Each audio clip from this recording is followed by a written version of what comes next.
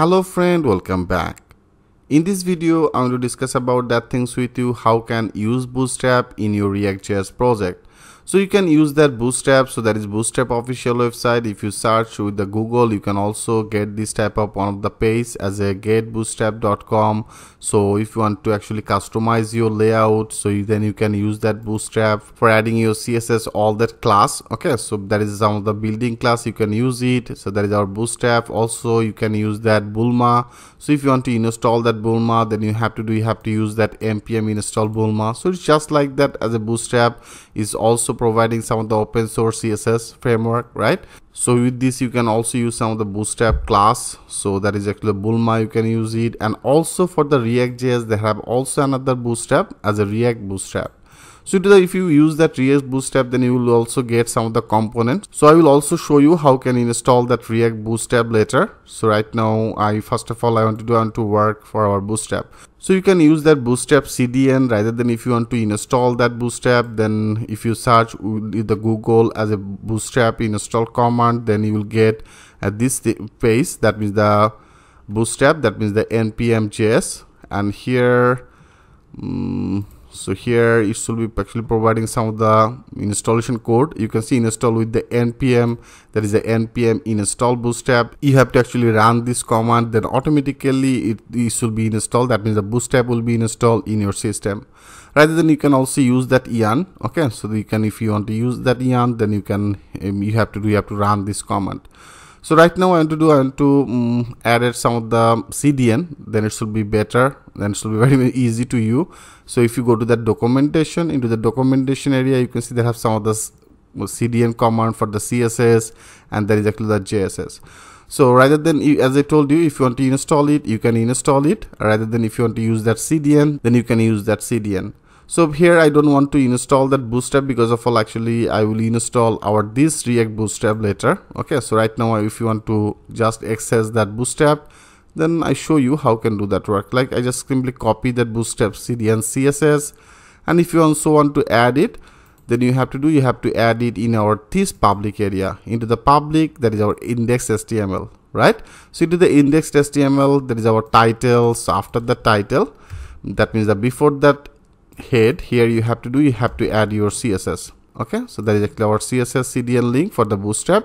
And also we have to do we have to add that js so they have the three js so i just simply copy. I just simply copy three of these. Now go here that means in our public in our index.html so into the body area. So here i just simply paste all the things on here okay friend? So that's all you have to do.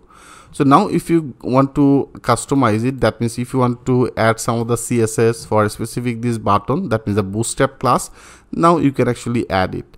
I show you like here right now if you go to our app.js so into the app.js here i added one of the button as the edit button and the delete button. So now i want to do i want to add some of the bootstrap class. So i just simply added that class and uh, here I just put one of the class as a btn btn sm okay.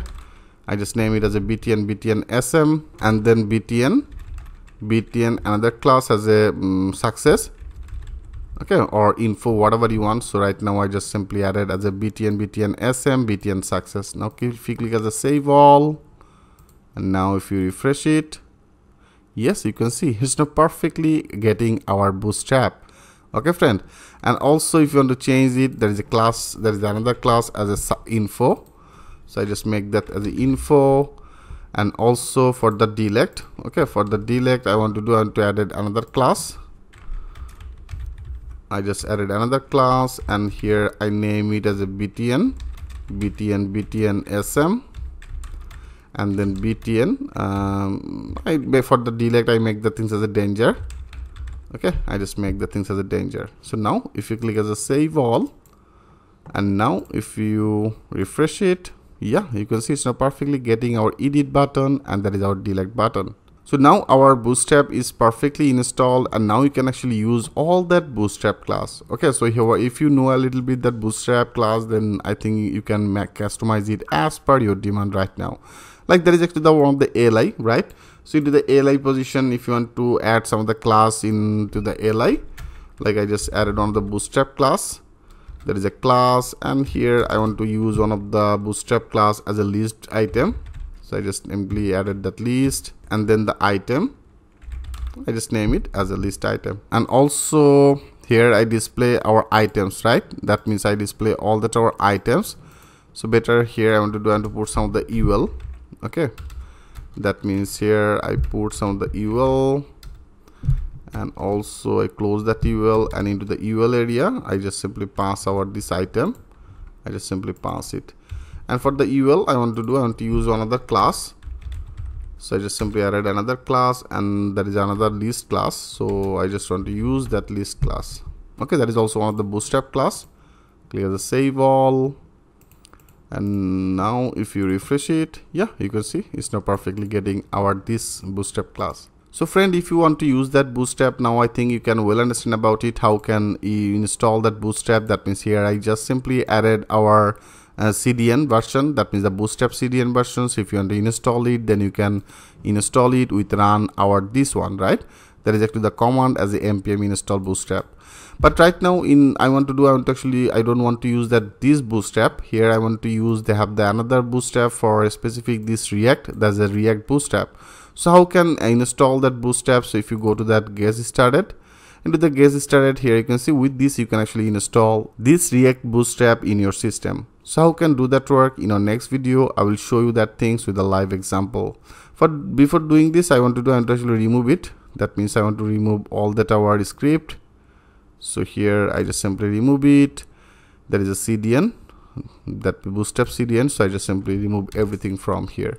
And now if you click as a save all and now if you refresh it now you can see it's not totally gone. Okay.